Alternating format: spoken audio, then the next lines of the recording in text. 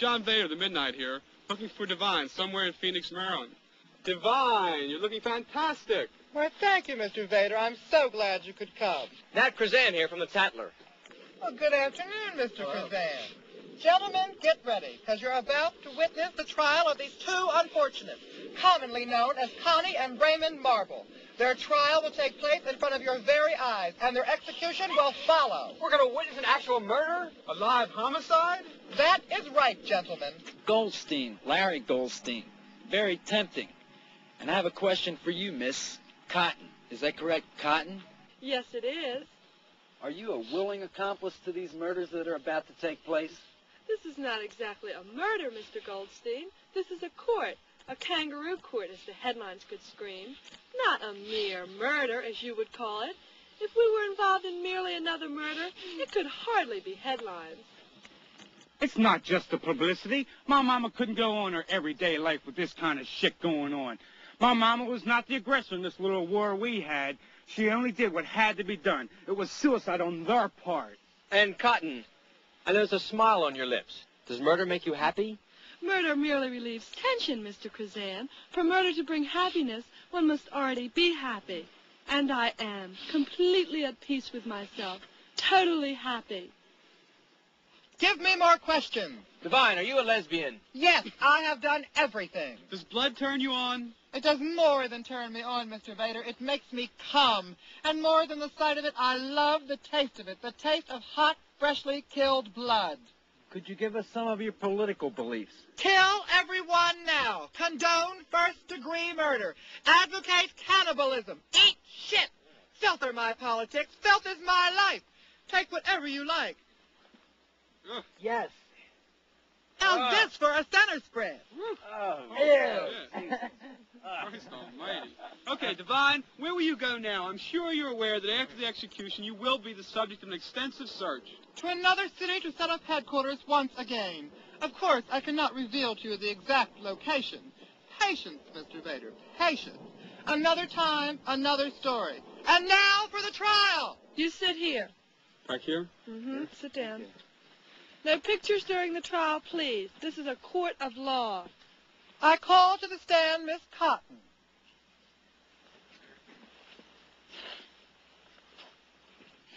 Do you solemnly swear to tell the truth, the whole truth, and nothing but the truth? I do. Who burned down our trailer? Connie and Raymond Marble. Can you point them out in this court? There they are, right there, the ones that are tied up. Who sent me a turd in the mail? Connie and Raymond Marble. That is all. Is there any cross-examination? No cross-examination? Very well. You may step down. I call to the stand Crackers. Do you solemnly swear to tell the truth, the whole truth, and nothing but the truth? Sure, Mom, I wouldn't shit you. How did Connie and Raymond find out where we live? They hired a spy. How did the spy get her information? By nosing around asking a lot of questions and by fucking me, that's how she got it. That dirty little skag. Mm, mm, mm. Thank you. Is there any cross-examination? No? A very strange defense, I must say. You may step down. Gentlemen, the verdict is guilty on all ten counts of first-degree stupidity. The penalty phase will now begin. I call Cotton to the stand. Your oath still remains. I presume you understand this? Naturally. In your opinion, what should the penalty in this case be? Death. That is all. You may step down. I call Crackers to the stand.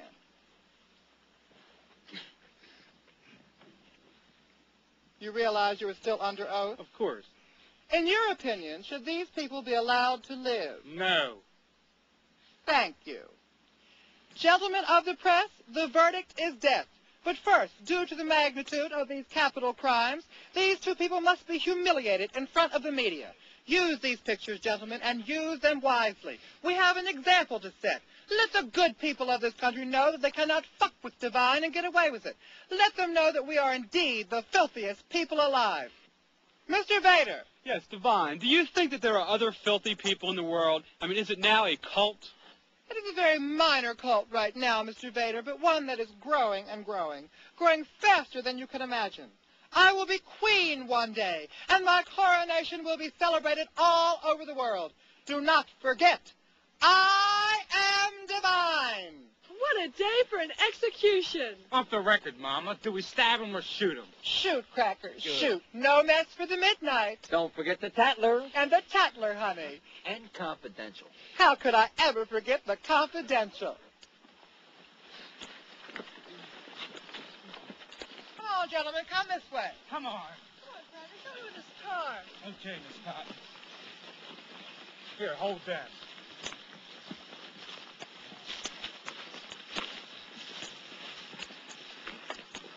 Burn my mama's house down, will you? You goddamn worm. You fucking piece of lousy shit. And now for the feathers. Only we're not going to run you out of town. We're going to kill you. Kill, kill, kill. Shoot, shoot, shoot. Questions and answers. Do you believe in God? I am God. You are God. You are God. Is there no wrong? There is right and there is wrong. I have never been wrong, Mr. Goldstein. Do you expect to get new followers with this publicity? I certainly hope so, Mr. Kazan. I didn't invite you here to jerk off, you know.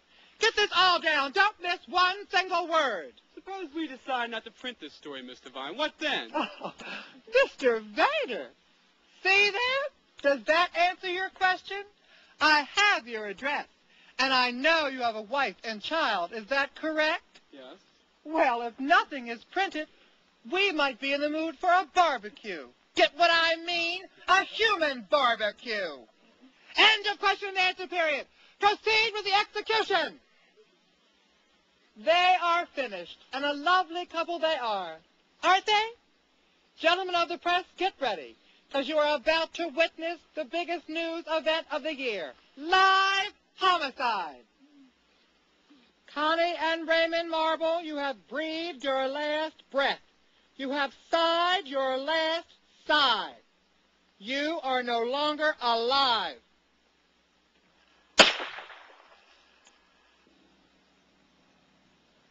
Connie Marble, you stand convicted of assholism. The proper punishment will now take place. Look pretty for the picture, Connie. That's it. No further questions, no further pictures. I have spoken.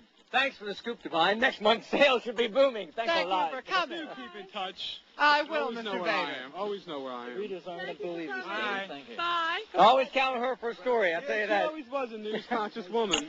Only problem is, I don't know. We've been trying to get to midnight in the supermarkets, and it's a hot story, all right, but it's so squalid. Yeah, well, Tatler will be in the